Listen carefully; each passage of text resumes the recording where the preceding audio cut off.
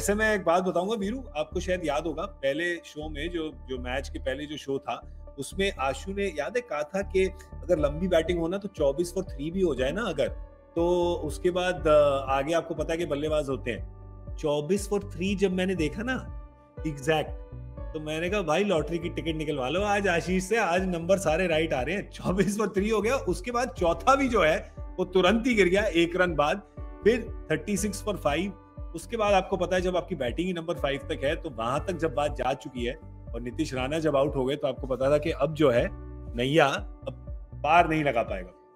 देखिए अगर opening partnership हो जाती है ना तो मैं शायद थोड़ी देर के लिए आराम कर सकता हूँ सो सकता हूँ कि मुझे पता है फिर 20 ओवर के बाद ही शो शुरू होगा। लेकिन अगर 23 पे तीन गिर गए ना तो पूरा मुकाबला देखना पड़ता है कि कब खत्म हो जाए पता नहीं फिर मुझे शो पे लाइव बैठना पड़े। तो जगना पड़ सकता है। तो थोड़ा आज बो, बोरिंग हो गया पूरा मैच भी देखना पड़ा और कुछ ऐसा घटा भी नहीं सिवाय की विकेटें देखने की। और मेरे बच्चे मुझे गाली दे रहे हैं आपकी टीम देख लो क्या कर रही है आपकी टीम। जब वो जीत जाती है तो उनकी टीम हो जाती है जब वो हारती है हाँ। तब वो मेरी टीम हो जाती है।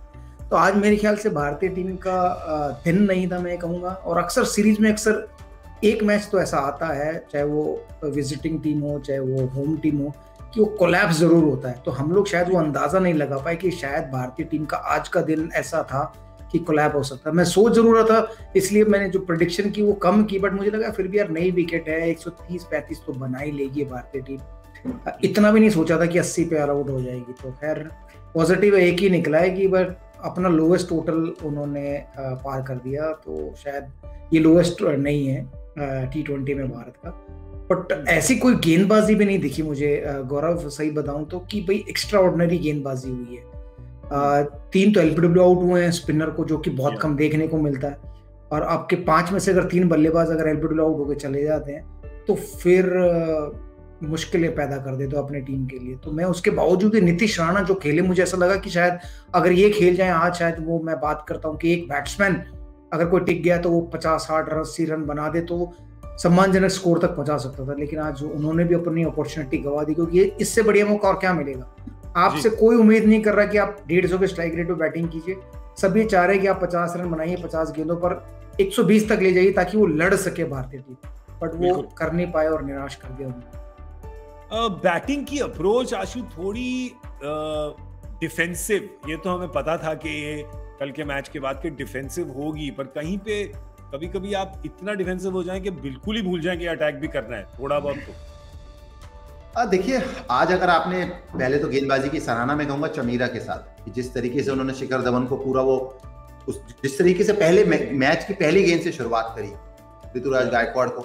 और पहले ओवर में देखिए, यहाँ आपके पास पाँच बल्लेबाज हैं, जिन भी सरकमस्टांसिस में वो हम सब जानते हैं। आपके वरिष्ठ खिलाड़ी, कप्तान अगर पहले ओवर में आउट हो गए तो और चीज़ें मुश्किल हो जाती हैं। पर फिर भी हाँ मैं ये ज़रूर कहूँगा कि अगर सोचिए कि दूसरे ओवर में भी एक विकेट गिर गई आप तीन ओवर में ना दस रन पे तीन आउट है तो और दबाव बढ़ता चला जाता है। चार ओवर में एक समय पे तेईस या चौबीस रन देके एक विकेट गिर रही थी। उस समय देवदत्त पडिकल और ऋतुराज गायकवाड़ खेल रहे थे। पर फिर भी क्या लग रहा था उनको? देखिए वो बहुत आवश्यक है कि किस तरीके की परिस्थितियाँ अभी होनार खिलाड़ी हैं नौजवान हैं सीखेंगे यही आप उम्मीद करते हैं कि आपके ये विकेट ऐसी नहीं थी कि अगर आप शिखर धवन आउट हो गए चार में चौबीस हो गए तो भी अगर आपने के बनेंगे ना 130 पैंतीस से वीरू कह रहे हैं तो भी आपके बल्लेबाजों को खेलना पड़ेगा। चार से आप प्लानिंग कर रहे हैं कि आप 10-12 तक किस तरीके से सिंगल निकाल सकते हैं।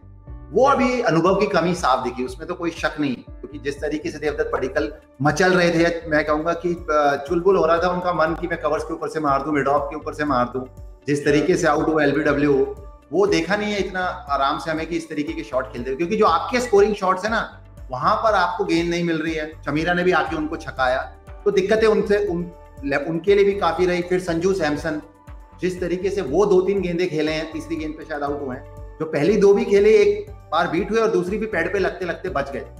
ये देखिए बल्लेबाजी ये वीरू बेहतर बता पाएँगे पर पहले क्या होता था कि आपने अगर लंबा पैर निकाला ना और आपके पैड पे लगी तो आउट नहीं मिलता था। ऋतुराज गायकवाड़ जैसे आज गुगली पिछले पैर पे लगी है मैं कहता हूँ आजकल तो अगर वो सीधे वाले पैर पे लग जाए बॉल विकेट में तो अंपायर आउट दे देता है। तो संजू सैमसन को तो और सोचना पड़ेगा अपनी बल्लेबाजी के लिए जिस तरीके से वो खेलते हैं। कहा जाता है ना कि बल्ला आप आगे रखिए पैड पे लगते हैं आप आगे आउट है। पहले ऐसा नहीं होता लंबे पैर निकाल दी डेलीबरेट पैड आपने मार दिया। अब अगर आपने पैड मारा है कोई शॉट ऑफ़र नहीं किया है और बॉल स्टम्प में जा रही तो आप आउट है। तो आपको नियमों को ध्यान रखना तो ये मैं कहूँगा एक कमी संजू सैमसन की बल्ली में बल्लेबाजी में उनको बिल्कुल देखनी होगी कि पैड पे गेंद बहुत उनके लग रही है जब भी विकेट टू विकेट कोई भी गेंदबाज कर रहा है जहाँ परिस्थितियाँ भी थोड़ी मुश्किल है। स्ट्राइक रोटेट करने में उनको हमेशा दिक्कत हो रही है। आज तो ये तीन ही गेंदे खेली पर इतने दिन से जो हम देख रहे हैं।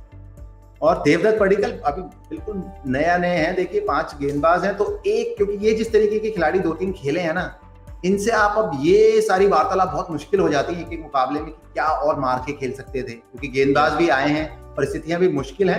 पर हाँ ये ज़रूर है कि आप चाहेंगे फिर भी जैसी मर्ज़ी परिस्थितियाँ हो कि 110 120 रन तक आप ज़रूर पहुँचे।